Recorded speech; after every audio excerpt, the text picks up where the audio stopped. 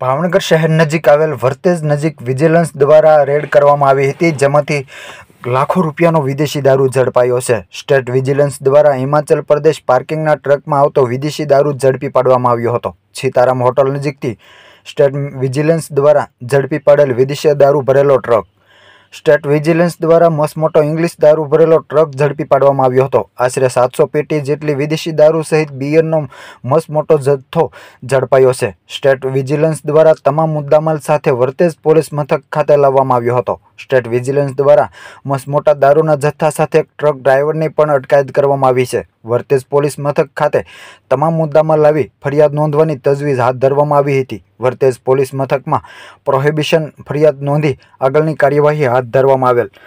હાલ દારૂ ક્યાંથી લાવવામાં આવ્યો છે તેમજ આ ક્યાં પહોંચાડવાનો હતો તે દિશામાં પોલીસે તપાસના ચક્રો ગતિમાન કર્યા છે.